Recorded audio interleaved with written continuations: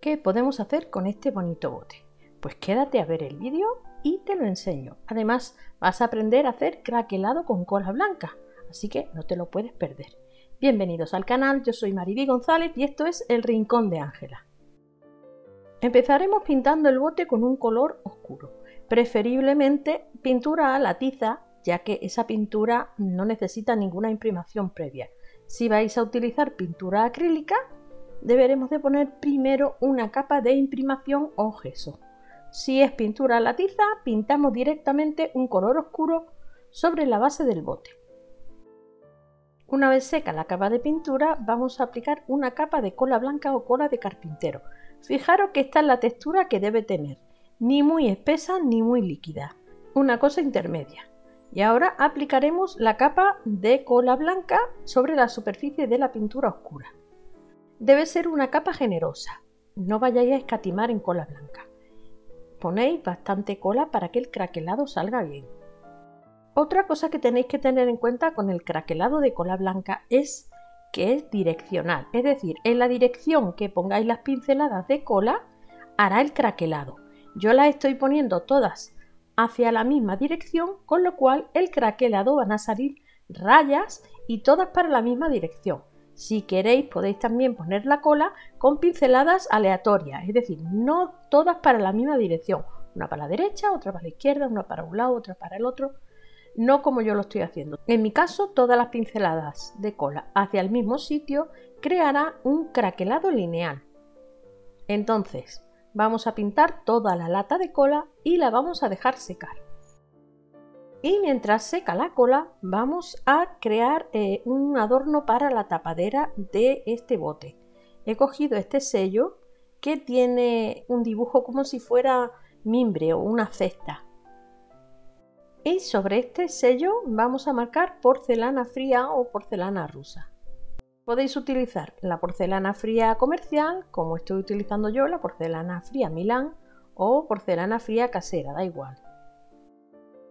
Hacemos un círculo con la porcelana y lo ponemos encima del sello.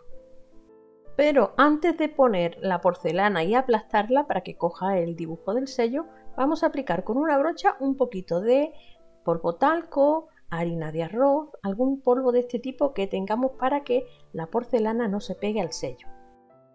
Y ahora sí, ya con un rulo vamos a extender la porcelana encima del sello para que coja el grabado. Vamos a estirarla un poquito más porque tiene que coger el diámetro de la tapadera. Pongo cola blanca sobre la tapadera y la extiendo muy bien con una paletina de silicona. Coloco la porcelana fría sobre la tapa y la ajusto bien para que me ocupe toda la circunferencia. El sobrante lo voy a ir cortando con un cúter. A la vez que voy rematando voy aplastando un poquito con el dedo para que queden los bordes bien pulidos. Ya se ha secado la cola blanca y ahora vamos a aplicar pintura acrílica de color blanco para craquelar. No apretamos el pincel, pinceladas muy suaves. Si tenemos que pasar dos veces por el mismo sitio, lo hacemos para cubrirlo todo con pintura, pero muy suave, sin apretar, ya que si apretamos vamos a mover la cola y no va a quedar bien el craquelado. De esta forma vamos a ir pintando todo el bote y como podéis comprobar ya empieza a craquelar. Una vez que lo hayamos pintado tenemos que dejarlo secar completamente para que se termine de craquelar y no nos vaya a hacer ningún churrete. Lo dejamos secar un par de horitas. Mientras el bote está craquelando vamos a cortar media servilleta porque es lo que vamos a utilizar. Esta de cestitos con flores de lavanda que es preciosa. Vamos a quitar las dos capas blancas de detrás y nos quedamos con la capa decorada. Con un pincel con depósito de agua voy a ir marcando los contornos de las figuras que quiero ir recortando. Marcamos con el agua y vamos rompiendo la servilleta hasta separar todos los elementos.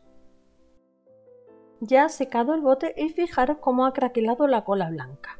Ahora vamos a colocar eh, cada uno de los elementos que hemos recortado de la servilleta en su sitio y con pegamento para decoupage lo vamos a ir pegando.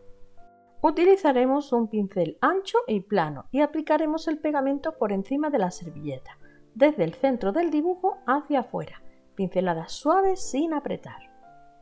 De la misma forma vamos a ir colocando trocitos de servilleta y la vamos a ir pegando con el pegamento para decoupage. Ya sabéis, pinceladas suaves, sin apretar, cargadas de pegamento y un pincel ancho y plano para pegar y planchar la servilleta a la vez. Como me pasa algunas veces, la cámara se queda sin batería y yo sigo trabajando, así que nos hemos perdido el pintar la tapadera del bote con la porcelana fría. La he pintado con pintura a la tiza en color rosa antiguo. Ahora, con un poquito de pintura acrílica marrón y un chorrito de agua para que quede bastante líquida, vamos a ir marcando los relieves. Pintamos la pintura marrón oscura aguada y la vamos limpiando con una toallita húmeda de bebé. Fijaros que parece chocolate. De esta forma vamos a ir rellenando los huecos de la porcelana con una sombra oscurita. Ahora vamos a aplicar este producto que es un producto mm, adhesivo, un gel fijador. Este gel fijador lo que hace es que el pigmento en polvo se quede pegado. Así que vamos a poner un poquito y lo vamos a aplicar con el pincel muy suavemente sin entrar en las ranuras, es decir, solamente pasarlo por el relieve, con mucha suavidad para que los bordes y el relieve se queden impregnados de este producto, pero no las comisuras que habíamos pintado o habíamos tintado de oscuro. Para este trabajo voy a utilizar un pigmento en polvo de color blanco nacarado. Este pigmento lo voy a aplicar con un pincel seco sobre el adhesivo que ya al secar digamos que se pone pegajoso y atrapa el polvo. Así que va a quedar un perlado súper bonito. Como siempre os dejaré el enlace a este y a todos los productos que utilizo en la cajita de información del vídeo. Ya se ha secado el decoupage y ahora para proteger nuestro trabajo vamos a aplicar una capa de barniz. Da igual, satinado, mate o brillante, el que más te guste. Ya tenemos nuestro bote completamente seco y ahora para dar un toque final, un toque romántico, como ya sabéis que me encanta, voy a pegar en esta zona de aquí arriba este encajito de color rosa. A ver, chicas y chicos, este paso es opcional, porque hay mucha gente que siempre me dice, ay, el encaje le sobra. Bueno, pues si le sobra, no se lo pongas. A mí me gusta de esta forma y yo se lo voy a poner. Si no te gusta, simplemente saltas este paso y ya no pasa nada. Continúas con el trabajo en este caso sería finaliza el trabajo. Cortamos recto para que la unión no se note y lo acomodamos con los dedos. Y aquí tenemos nuestro trabajo terminado. Como siempre, espero que te haya gustado. Si es así, déjame un comentario, dale al like y no olvides compartir este vídeo en tus redes sociales para que el canal siga creciendo. Recuerda que te dejo el enlace a todos los productos que utilizo en la cajita de información del vídeo, debajo donde pone leer más o mostrar más. Y nada más, ya me despido, un beso enorme y nos vemos en el próximo vídeo. Hasta pronto amigos.